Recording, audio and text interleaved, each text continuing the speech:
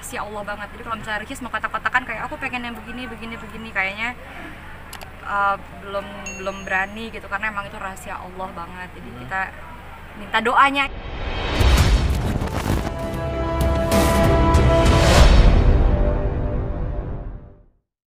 Alhamdulillah selama pandemi kayaknya saya agak sedikit banting setir jadi seorang penulis karena sekarang lagi fokus di salah satu proyekan judul judulnya bukan buku nikah itu emang udah agak hampir sedikit rampung tapi masih banyak revisi-revisi. Jadi emang saat terakhir-terakhir ini sampai pagi pun masih ngerjain bukan buku nikah untuk diterbitin di Gramedia insya Allah.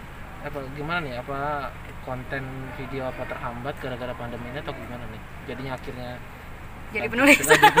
Ya juga masuk akal ya Iya. tapi nggak juga sih karena kalau Richie sendiri konten kan setiap vlog uh, di YouTube kan ada empat channel dan tiga channelnya itu Ricis Official, Ricis TV Rumah Ricis tayang tiap hari. Jadi mau nggak mau sehari tayang tiga minimal. Jadi memang kalau konten yang ngalir aja. Tapi kalau ngar- ngaruh nggak pandemi untuk konten konten-konten di vlog kayaknya nggak terlalu sih. Cuman mungkin ada beberapa yang terhambat yang tadinya kita bisa syuting di luar karena pandemi kita harus di rumah aja. Tapi itu menjadi satu kesulitan juga berarti berarti buat lo nih? Bisa jadi karena kan yang tadinya kita bisa explore keluar kontennya bisa lebih fresh gara-gara pandemi kita harus di rumah aja. Makanya eh, karena di rumah aja karena mungkin bosen ya jadinya banting setir ke hobi yang selain konten creator jadinya menulis. Apa sih yang biasa lo buat kalau di rumah? Di luar syuting apa? Ah, ah. di luar syuting ya tadi nulis kadang me time me time cewek tuh kadang suka ya dengerin lagu gitu-gitu. Jadi emang yang orang lain tuh nggak bisa lihat. Banyak orang yang beralih bisnis kayak kuliner kayak eh, baju kayak gitu. Masih apa namanya clothing clothing lain gitu kan. Kamu sendiri lebih memilih nulis ya? Tapi saya juga punya clothing line. Iya. udah jalan emang dari 2015 juga. Jadi kalau nulis itu bukan sesuatu yang harus banget tapi itu bagian dari hobi dan karena aku bilangnya tuh hanya diary gitu ya. Jadi karena aku nulis diary tapi bedanya diary aku ini pengennya tuh orang tuh baca biar bisa ngambil pesan-pesan dari diary aku ini gitu aja.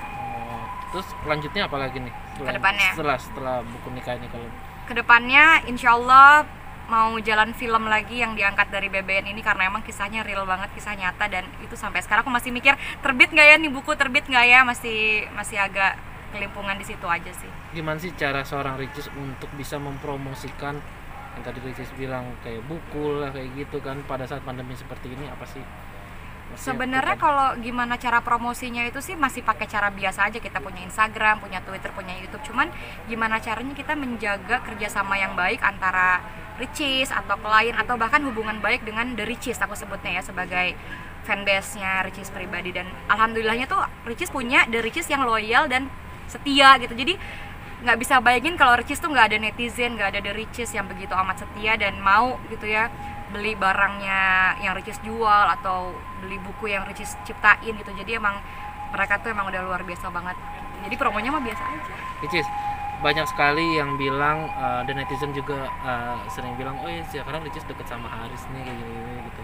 Kamu sendiri kayak gimana sih nanggepinnya? Nanggepinnya ya biasa aja karena emang Ricis sama kakak Haris berteman baik. Hmm. kenalnya juga udah lama banget ya udah hampir setahun dua tahun lalu juga udah sempat kenal cuman detail kenal deketnya emang baru-baru beberapa bulan belakang. Karena pas banget si Haris tuh datang waktu Ricis tuh yang gitu. Jadi malu kan? Iya iya. Tahu Oh, masa bisa aja nih lagi? Ya gitu deh pokoknya. Jadi kedatangan Haris tuh benar-benar menyembuhkan menyembuhkan luka gitu. Tapi semakin ke sini wah ini best friend yang baik ya untuk Ricis dia juga nganggap oh ini best friend yang baik untuk saya kata dia apakah menjadi salah satu kriterianya Ricis Oh Haris tuh banyak banget yang suka mas. Aduh, Kayaknya aduh, aku tuh, iya kan? Kayaknya aku tuh hanya sebagian kecilnya saja Kalau misalnya, oh ini kriteria Kayaknya hanya sebagian kecil. Karena yang Ricis lihat tuh teman-temannya harus cantik semua Terus yang benar-benar wah glowing semua. Jadi aku kayak insecure. Gitu. tapi semisalnya kalau si Harisnya udah deket sama Ricis kan dia nggak ada pilihan Iya Makanya kan? kita dekat sebagai best friend. Nah, mungkin apa sih yang Ricis cari? Maksudnya kan eh, orang selalu sering eh, menjodohkan eh Ricis sama si ini ya sama si ini cocok nih sini Ricis sendiri sebenarnya seperti apa sih kriteria yang diinginkan sampai saat ini? Yang jelas tuh jodoh tuh emang rahasia Allah banget ya. Bahkan ada juga orang yang bilang udah nikah bertahun-tahun aja belum tentu jodoh. Jadi emang jodoh tuh rahasia Allah banget. Jadi kalau misalnya Ricis mau kotak-kotakan kayak aku pengen yang begini begini begini kayaknya uh, belum belum berani gitu karena emang itu rahasia Allah banget jadi Hmm. kita minta doanya aja doain doain banget doain banget tapi Minta kalau udah ada orang tua pokoknya minta doain doain gitu doain karena kan uh, lagi lagi sekarang kan lagi bener-bener menanti kan Iya. jadi aduh kencengin doa aja berarti udah penantiannya nih sekarang ya ini ya. Walau alam, walau alam nggak ada yang tahu ke depannya bagaimana. Tapi kamu sendiri ngerasa terganggu nggak sih soal dijodoh-jodohin gitu kan? Enggak sih, tapi tergantung gimana netizennya aja. Kalau misalnya menjodohkan sampai bikin kitanya jadi nggak boleh berteman dengan A, B, C gitu itu agak terganggu. Karena kan kita dunia entertain emang lingkungannya ya itu itu aja pasti. Jadi kalau misalnya gara-gara dijodoh-jodohkan jadi bikin teman kolaborasi kita risih gitu karena oh Ricky sudah punya A, B, C jangan lagi dong. Itu risih tapi kalau misalnya support gitu itu masih yang justru berterima kasih banyak banget